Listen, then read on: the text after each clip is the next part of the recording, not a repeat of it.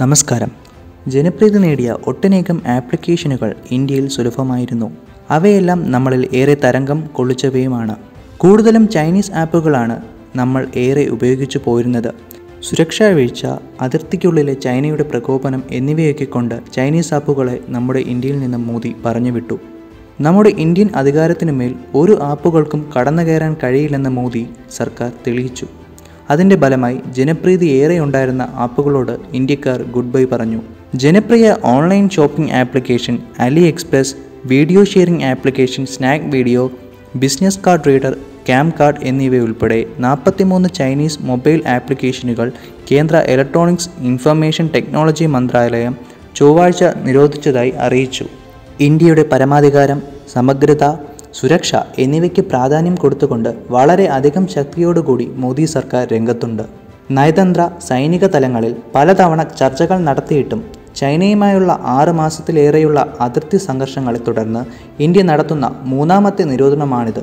അടുപ്പിക്കാൻ കൊള്ളാത്തതിനെ മാറ്റി നിർത്തണം എന്നൊക്കെ പറയാറുള്ളത് പോലെ തന്നെയാണ് ഇതും. വിവര സാങ്കേതിക നിയമത്തിലെ സെക്ഷൻ അറുപത്തൊമ്പത് എ പ്രകാരമാണ് ആപ്പുകൾ നിരോധിച്ചത്.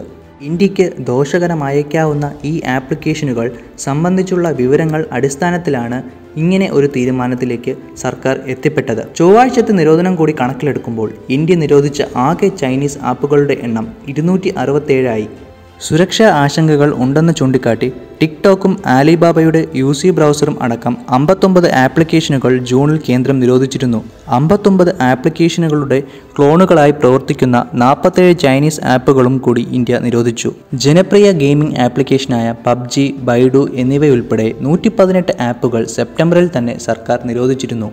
ഈ ആപ്ലിക്കേഷനുകൾ ഇന്ത്യയിൽ ഉപയോഗിക്കുന്നത് തടയുന്നതിനു വേണ്ടി മോദി സർക്കാർ ഉത്തരവ് പുറപ്പെടുവിച്ചിരുന്നു.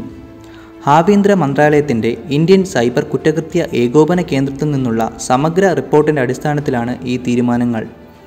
എന്തായാലും മോദി സർക്കാരിന്റെ സ്വാശ്രയ രാഷ്ട്രീയത്തെക്കുറിച്ചുള്ള കാഴ്ചപ്പാടിന് അനുസൃതമായി ഈ നടപടി ഇന്ത്യൻ ആപ്ലിക്കേഷൻ നിർമ്മാതാക്കൾക്ക് വളരെ പ്രയോജനകരമാണ്. നമ്മൾ ഉപയോഗിച്ചുകൊണ്ടിരുന്ന മിക്ക ആപ്പുകളും ചൈനീസ് നിർമ്മിതമായിരുന്നു. അതിനൊക്കെ എത്രമാത്രം സുരക്ഷ ഉറപ്പാക്കുന്നു എന്നുള്ളത് നമുക്ക് ചിന്തിക്കാനേ സമയം ഉണ്ടായിരുന്നില്ല. സ്മാർട്ട് ഫോണുകളിലെ നിരവധി ആപ്ലിക്കേഷനുകൾ വൻതോതിൽ ഉപഭോക്താക്കളുടെ വിവരങ്ങൾ ശേഖരിക്കുന്നു എന്നതാണ് ഏറ്റവും വലിയ സുരക്ഷാ ആശങ്ക. അവ നൽകുന്ന സേവനവുമായി അതിന് യാതൊരു ബന്ധവുമില്ല എന്നുള്ളതാണ് മറ്റൊരു വസ്തുതയെന്ന് സൈബർ സുരക്ഷാ സ്ഥാപനമായ സോഫോ ടെക്നോളജീസിന്റെ സഹസ്ഥാപകൻ ലിയോൺ പറയുന്നു. സുരക്ഷയിലും നിരോധനത്തിലും ഒക്കെ ശ്രദ്ധിച്ചു തുടങ്ങേണ്ട കാലം അതിക്രമിച്ചെങ്കിലും മോദി സർക്കാർ എത്തിയതോടെ അത്തരം വ്യാധികളിൽ നിന്ന് ഒഴിഞ്ഞു മാറാൻ നമുക്ക് സാധിക്കുന്നുണ്ട്.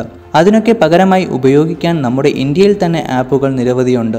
ടിക്ടോക്കിനും എക്സ്റ്റൻഡിനും ഒക്കെ തന്നെ പകരമായി നിരവധി ആപ്പുകൾ നിലവിൽ ഉണ്ട് എന്നുള്ളത് ഈ ആപ്പുകളുടെ നിരോധനത്തിന് ശേഷമാണ് നമ്മൾ ഓർക്കുന്നത് പോലും. എന്നിരുന്നാലും ആശങ്കകളും മറ്റും ഇല്ലാതെ തന്നെ നമുക്ക് ആപ്ലിക്കേഷനുകൾ ഉപയോഗിക്കാൻ കഴിയുന്നതിൽ സന്തോഷം ഏറെയാണ്.